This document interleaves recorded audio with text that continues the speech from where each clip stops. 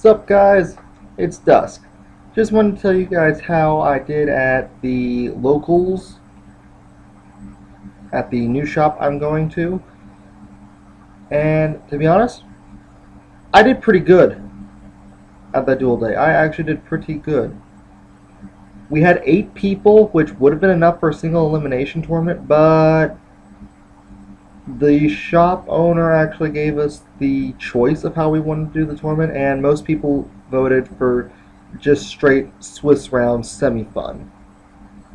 So everyone basically did three matches paired up against random opponents, best of three.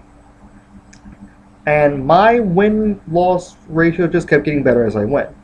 First match was against a buddy of mine you've seen on the channel twice now, Yu Judo. Lost 2 to 1. But honestly, that tiebreaker came down to who could pop bottles quicker. He was using a Fire Water Light Dragons deck. And, well, he popped a bottle quicker. The second opponent taught basically half of the people playing in the area how to play. He was using a water light dark deck, though I consider it a light dark deck. The only waters he was sporting were three um, Logos Scans and three Rusalkas. He gave me trouble. He gave me a lot of trouble. That light, um, those light and darkness cards really stuck it to me. The one Rusalka he pulled off actually managed to help me long term, but yeah, I won that match two to um, two uh, uh, two to one, and then finally fought another Waterlight Darkness player,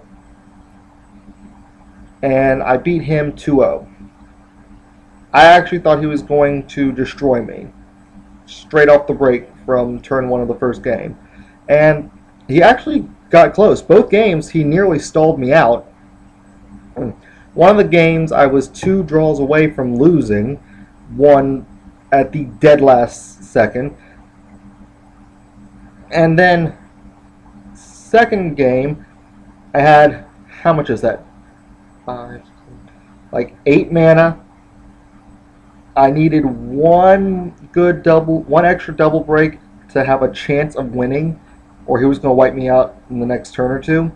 And yeah, I tapped three, got logos scan, tap four, untap one, bring out the Prickleback I had just drawn with it, tap the last four, evolve it to the Sabertooth I had just drawn with it, and that was after, on his previous turn, he banished an Orion that went into another Orion. So, yeah. Bailed out on that one. After the tournament, I managed to get my third Andromeda out of six booster packs. So, yeah, I'm pretty happy. I wouldn't say I won the tournament. I'd say the person with the best win-loss ratio was Sam, who's using a the Mono Fire deck I just shown you guys in the previous videos. But I'd like to say I did pretty well. Now, while I'm talking about these guys, I should mention that I am now on a team. I have joined up with some of the players on Maryland Kaijudo. I'll leave the link to their channel below. And we are we have formed Team Top Deck. We plan to definitely hit the Pennsylvania tournament, and we're debating on hitting another tournament. Don't want to tell you guys which one until we've settled, but I will tell you, uh, I'd like to say, well, I'll just keep it a secret.